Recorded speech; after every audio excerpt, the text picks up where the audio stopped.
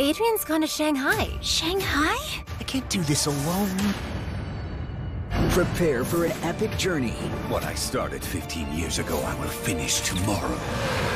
as the fiery legend comes alive, revealing past secrets I have to guard my father's legacy. and an uncertain future.